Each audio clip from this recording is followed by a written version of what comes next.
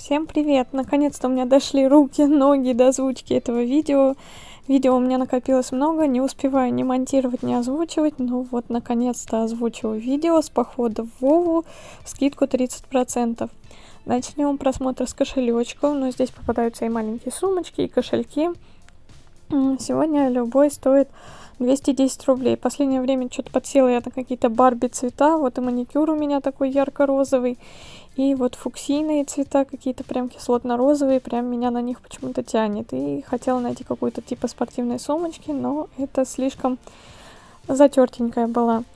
Увидела знакомые буквы, думала, думала, решила заглянуть внутрь. Тут даже старая цена осталась. Это кошелечек от Victoria's Secret. Внутри он выглядит вообще как новый. И с одной из сторон, но вот сверху вот эти буквы, к сожалению, подзатерлись. Вот такая спортивная сумочка, но уж больно пестренькая. Хотела найти какую-то вот текстильную, небольшого формата и желательно светлую, но что-то в этот раз мне ничего особо не попадалось. Такой кошелечек на цепочке был. Так, что это? От Avon какая-то мини-сумочка. Вот эта штука мне понравилась. У меня папа до сих пор что-то записывает на диске. Я думала взять папе, но папа сказал, что у него уже такие есть, и ему не надо. А так даже вот такое, видите, можно найти в секонде. Редикюльчик клатч. В принципе, интересный, но не знаю, что туда можно поместить. Думала, какой-то бренд написан, но нет. Но name, но в хорошем состоянии. Так, еще текстильная сумочка, но прям, да, уже потертая, затертая. Какой-то плоский может, это чехол под какие-то кисточки был. Вот такая небольшая сумчоночка. Так, что еще, что еще? Хаки. Всякие там камуфляжи. Красная вот такая неплохая была, но красная мне ни к чему. Мне хотелось найти светлую. Вот этот интересный кошелечек, редикюльчик был. Вот такой текстильный кошелечек на три отделения. Так, что еще интересного? Ну, такие обычные кошельки кожезамовские. Ну и перейдем к сумкам. Вот показываю цены на сумки. Это без учета скидок еще. Буду подписывать с учетом скидки. Вот опять же потянула меня на розовый. Нашла такую розовую сумочку. Это, по-моему, атмосфер. И она на камере такая более приглушенно розовая. В жизни она, наверное, как мои ногти, прям яркая. Вот нашла текстильную, но оценили ее, кстати, недешево, не знаю, может бренд какой-то особенный. Цвет хаки, ну так в ней ничего супер особенного. Очень много было сумок от Michael Kors, но не знаю, все ли они оригинал. Думаю, что нет. Но вот это очень, кстати, необычное. Обычно там мне встречаются такие какие-то стандартные. Вот это я подумала, что это коач, коуч, как правильно произносится. Но нет, это хороший закос. Ну, тут даже буквы не те. И фурнитура, по-моему, отсутствует некоторые. Вот это закос под гусиную, ой, страусиную кожу. Здесь есть такая цепочка, в принципе, сумочка ничего, но вот эта вот золотая фурнитура меня прям бесит. Не знаю, я одна такая, напишите. Не нравится мне эта желтушная фурнитура, ее иногда пихают даже к таким цветам, с которыми она не сочетается. Понравилась мне вот эта большая дорожная сумка. Она даже какой-то бренд имеет. Она выглядела абсолютно новой. И спереди еще такая гобеленовая вставка. Очень необычная. Если бы мне нужна была, я бы, наверное, даже взяла. Рыженькие сумочки тоже мне нравятся, поэтому не прохожу мимо, смотрю. Вот это, по-моему, даже, возможно, кожаная, видите, и тоже Michael Kors. Вот такие модели я впервые встречаю. Кстати, вторая рыжая сумка и тоже Michael Kors. В принципе, мне понравилась вот эта сумка, но мне красная сумка ни к чему. Думается мне тоже, что это кожа. Какой бренд пыталась найти. Так, пыталась найти также бирку. Что это? А, это релик. Релик. Но мне показалось, что это кожа, хотя у них сумки часто из кожи зама. Единственное, что безмагнитное мне, по-моему, сегодня попалось, это вот рюкзачок текстильный с рыжими вставками под кожу. Так, вот еще Майкл Корс. Только здесь ручки уже рыжие. Те были полностью рыжие. Но это какой-то, видимо, закос, потому что тут уже на бирочке только буква М. Ну и как бы сама она себе посредственного качества. Интересным показалась вот эта сумочка. Мне в последнее время нравится сочетание вот э, бежевого с голубым, с синим. Мне кажется, прям смотрится очень интересно. Но оценили недешево. Еще Майкл Корс. Но здесь уже даже брендированная подкладка и такой материал, как выделка под змею, какую-то рептилию. Очень по сочетанию вырвиглазная вот такая текстильная сумка была. Красные такие лакированные э, детали у нее, а сама она из такой как плащевой ткани. Не знаю, что за бренд. Возможно, что-то дорогое. Возможно, ну, потому что хорошо так, в принципе, сделано и была в хорошем состоянии. Но сочетание цветов, конечно, вырви глаз. Вот эта малышка была кожаная, но, как мне показалось, совсем не функциональная. Тут какие-то непонятные карманы, непонятно, что туда можно вообще вместить. Ну, в общем, странная она. Вот это, кстати, забавная. Здесь текстильный ремешок и вот такие вот силуэты я так поняла, мишек. Но она кожзам. Не знаю, возможно, тоже какой-то бренд хороший. Не гуглила. А, рюкзачок с пайетками. Ну, он, конечно, не натуральный, но оценили его недешево. Не знаю. Портфельчик рыжий с черным. Но мне показалось, что он слишком плоский и невместительный. Насчет кожи или не кожи не знаю. Пыталась разглядеть, рассмотреть, но так и не поняла. И вот, кстати, здесь фурнитура уже такая под старину идет. Она мне больше нравится. Уж если ставить, то лучше уж не золото ставить, а вот какую-нибудь вот такую фурнитуру. Потому что вот это желтое золото прям дешевит. Так, продолжаем искать текстильную сумку. Нашла вот такую светлую. Но она такая больше хаки. Хотелось бы какую-то либо молочную, либо, ну, белую, наверное, нет. Какую-нибудь светло-бежевую. На камере она кажется, конечно, ну, какой-то светло-бежевый, но на самом деле она такая больше коричневая. И ремешок у нее идет из кожи зама. Я подумала, что он быстро потрескается. Сумка-седло, по-моему, ее называли. У, Прада, по-моему, появилась она изначально, а теперь эту форму копируют все, кому не лень. Вот попалась вот такая. Она, по-моему, нонейм.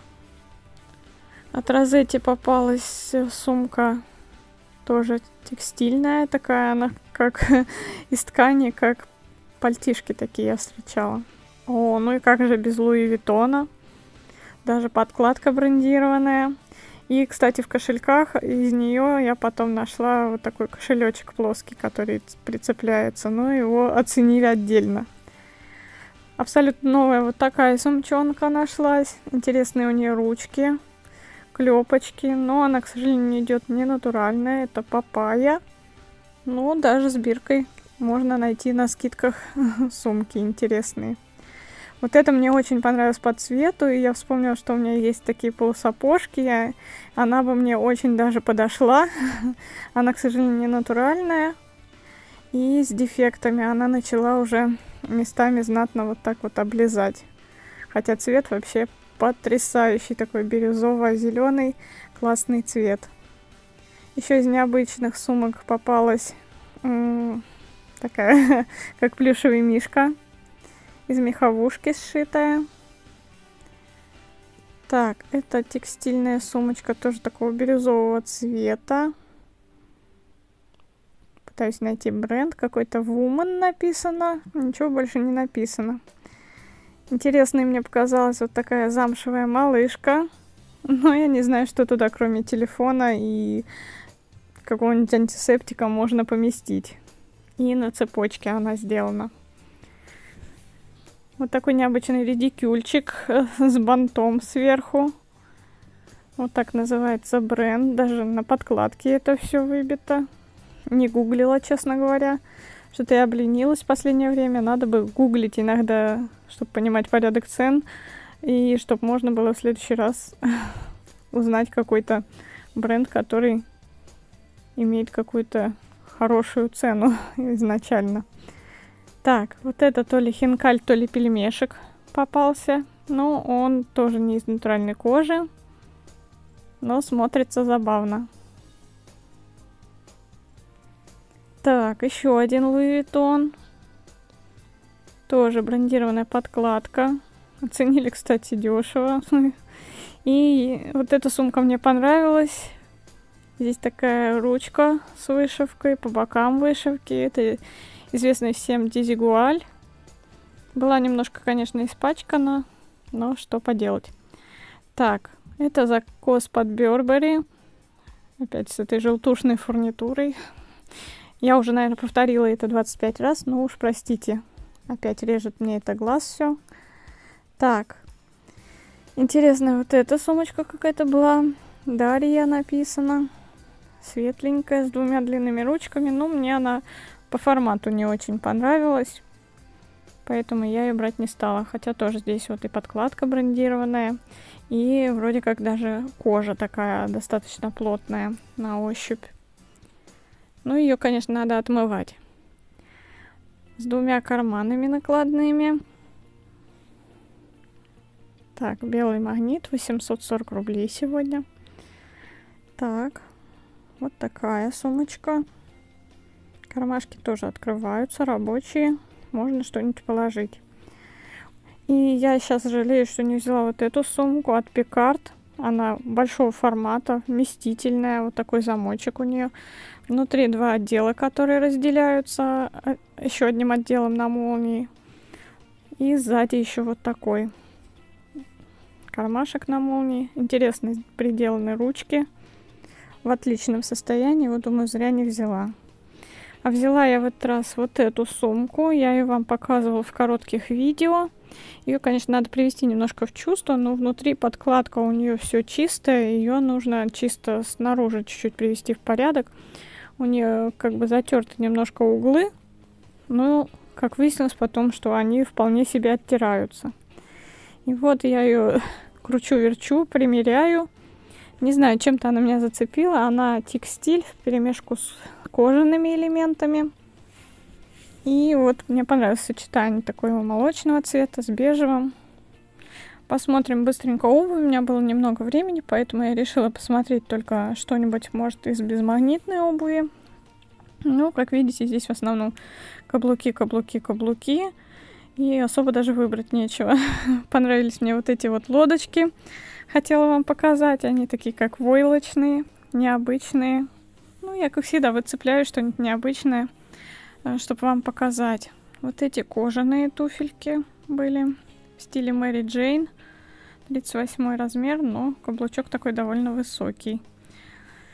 Так, что еще?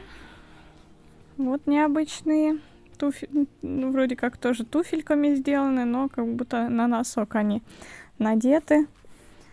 Балетки. Кто-то мне писал в комментариях, на обуви же стоит крест, ее нельзя носить. Я не знаю, у нас почему-то вот так вот в Вове помечают пары обуви, э, какие-то крестики ставят, нолики. Поэтому я, честно, не обращаю на это внимания. Тем более ставить на подошве, она в процессе носки все это стирается. Ну, либо если так напрягает, можно каким-нибудь чистящим, моющим очистить. Эти туфли вон с кожаной подошвой даже. Это, наверное, для танцев, я так поняла. Потому что снизу прям замша пришита. Вот такие необычные балетки со шнуровкой. Но это тоже не натуральные. 36 размер, но примерять не стала. Они не натуральные. Еще балетки. Ну, это тоже текстиль все. Все не натуральное. Здесь необычный каблук даже новенький. Вон пряжка еще запечатана. Ну, не знаю, кожа или нет. Опять же, тянет меня на розовый. розовые ногти и вот розовые туфли. Думала, что замшевые, но нет, это не замша. А вот эти туфли, если помните, я уже примеряла. Опять они всплыли, опять в 37 размере. То есть это точно те же туфли, которые я уже э, примеряла. И от Фила попались вот такие плетеные босоножки. Я удивилась, что их запихнули в отдел с дешевой обувью. Потому что внешне, визуально никаких дефектов я не нашла. Ну, возможно, устаревшая модель. Итак, я переместилась уже в примерочную, я сегодня одета вот так, в стиле какой-то русской березки. У меня вверх. Решила выгулить вот эти дорогущие брюки, которые я недавно нашла. И вот курточку я бы хотела, кстати, найти какую-то светлую, легкую, но пока вот хожу поэтому в таком вот, в такой толстовке. Так, я сегодня, как всегда, покопалась в кучке. И вот что нашла. Так, первое, что это вот такой свитерочек сзади со шнуровкой от Майсон Скотч. Но он мне маловат. Маловат. И тут такой вырез достаточно интересный. Он очень э, широко по плечам садится. Ну, вот эта кофточка переплюнула все. Кофточка, футболочка. Искала какую-то футболку интересную, светлую, может, под эти брюки. Но тоже вот примерила я этот кислотный э, желтый цвет и поняла, что мне он не идет. Плюс здесь такой вот вырез лодочкой, определенное белье надо. Нашла еще вот такую голубую футболочку уже с V-образным вырезом. Цвет красивый, прям небесно-голубой. Сзади еще идет вот такая интересная тоже вырез и шнурочки можно завязать выполнена из вискозы, но тоже что-то крутилось, вертелось и решила не брать. Вот этот кардиганчик меня привлек своим составом. Он идет ажурный такой вязкий, но вырез здесь достаточно глубокий. Я бы пододела какую-нибудь маечку. Даже пуговички здесь брендированы. Такой нежный, приятный к телу. И здесь хороший состав. Здесь 60% шелка в составе. Люблю трикотажные вещи из шелка. Нравится мне. Я их с удовольствием ищу и ношу. Очень необычной мне показалась вот эта вот футболка, которая села на меня как платье. Здесь очень много страз. И здесь какой-то черепундель нарисован, какая-то черепушка. И сзади здесь очень интересный элемент, вот такая вот веревочная часть. Ну, одна веревочка здесь, правда, растянулась, видимо, но это не проблема, можно пришить. Но для меня это слишком экстравагантно, наверное, слишком много страз, плюс непонятная длина, плюс открытая спина, но просто было интересно примерить, вы же меня знаете. Еще нашла очень интересный полосатый свитер, куда же без полосатиков, я их очень люблю, нежной любовью и в разных вариациях примеряю. Это то ли мужской свитер... Нет, это не мужской свитер, я думаю, просто это размер L. Я сейчас увидела уже. А, и сел он на меня вот так. В принципе, свободный, хороший, но рукава мне длинноваты, конечно. Они, в принципе, держатся, но все же длинноваты. Вот такой свитерок, если в полную длину. Был бы на размерчик поменьше, я бы, наверное, себе его с удовольствием забрала. Вот этот свитерок тоже мне понравился, такая сеточка, но мне кажется, это самовяз, потому что никаких бирок ни с названием бренда, ни с составом я не нашла, но по ощущениям это хлопок. Сзади он тоже точно так же выполнен, сбоку имеется два разрезика небольших. Вроде неплохо, но я шла с мыслью, что все-таки хочу подобрать какой-то верх к этим брючкам, но пока, пока все мимо, к сожалению не попадается.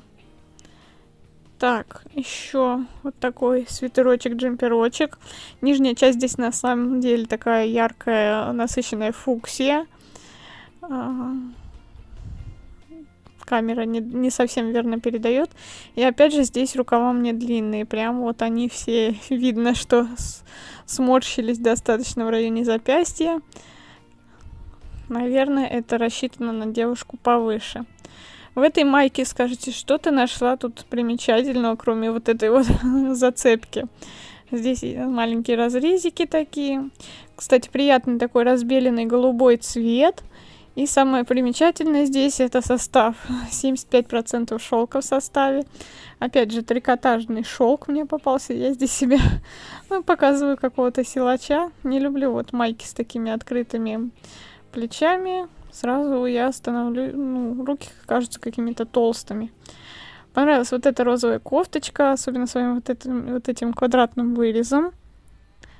Ну, в принципе, у ней больше ничего особо примечательного нет. Рука в три четверти. Сзади тоже обычная однотонная.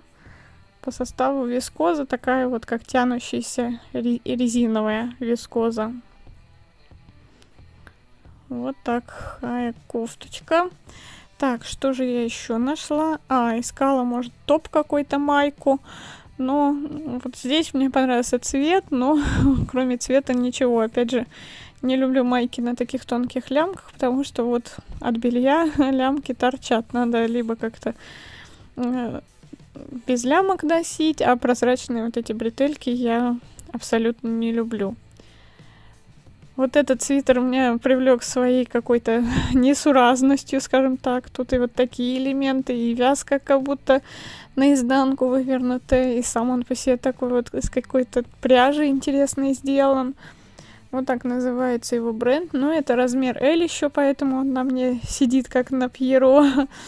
Вот. По составу это стопроцентный хлопок приятный к телу, и я была очень удивлена, когда увидела цены на свитера этого бренда. То есть около 100 долларов стоит свитерочек. Вот так дела.